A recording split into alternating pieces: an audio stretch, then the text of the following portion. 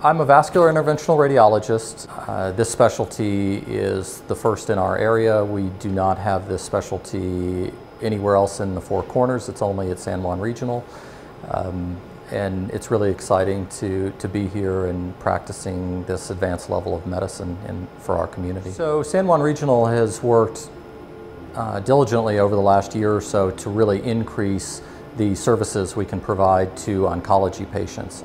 In interventional radiology, some of the things that we're doing that are new to this area and that are not available anywhere else in our region um, are liver-directed therapies for cancer. So the treatment is a radioactive particle that we administer directly to the tumors in the liver uh, we do this by going into a small artery in the wrist and we put a catheter all the way up into the liver right near the tumors and administer this radioactive material to the tumors. As it, it embeds in the tumor and stays there and shrinks the tumor and kills the tumor over time. And we can use this for primary liver cancers, but we can also use it for colon cancer that's gone to the liver, breast cancer, neuroendocrine tumors, lots of different tumors unfortunately metastasized to the liver. And this is a way to directly treat those tumors in the liver. And have had great results with this over the last several patients that we've treated um, with tumors shrinking by more than half in, in under three months. So it's really exciting. The other nice thing about it is there, there are minimal side effects for the patient. So they come in first thing in the morning, we work them up, uh, we do these under conscious sedation so they don't have to have general anesthesia. They wake up, they have lunch, and they go home the same day. But there's a lot of patients that have smaller tumors in their kidneys, uh, and these we've now found out are, we can treat with a percutaneous approach where I put a small probe into the tumor under CT guidance and we either freeze or burn the tumor and that completely cures the tumor in 96% of cases. In one session in radiology, they're cured from a cancer.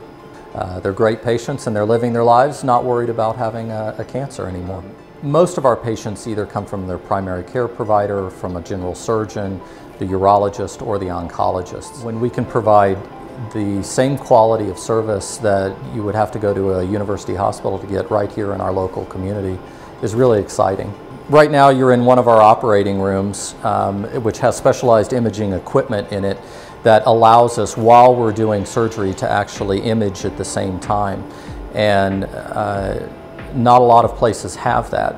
And this equipment you know, costs upwards of a million dollars, and San Juan Regional has made sure that we have the latest, greatest equipment to provide this kind of patient care. We can actually do, with this device, a, a CT scan in the operating environment so that I can be doing something we can have this machine will actually go around the patient, give us images, and I can see a 3D image in real time inside the patient while we're working in the operating room.